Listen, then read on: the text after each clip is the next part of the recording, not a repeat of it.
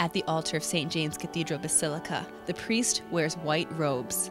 That means he's celebrating a feast, the first feast day of St. Mary Magdalene. She's an inspiration because uh, she proves that even that even sinners can change.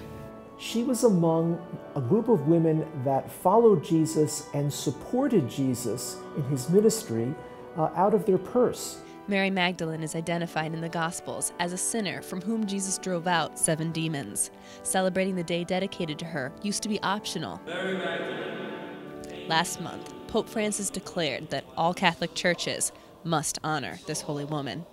The Bible says that Mary Magdalene, depicted here, was present for Christ's crucifixion, even when nearly all of his friends had abandoned him. The Bible also says that she was the first one Christ appeared to after the resurrection. She was the one who received that first word of the resurrection of, like, I am alive. So now you go and tell the other apostles. She's a woman of evangelization, a preacher, and yet she's not a priest.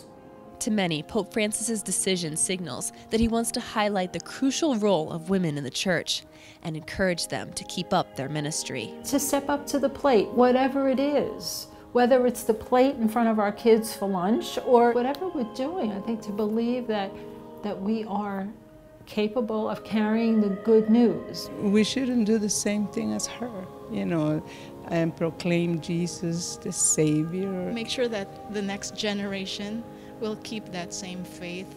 For Currents from downtown Brooklyn, I'm Katie Breidenbach.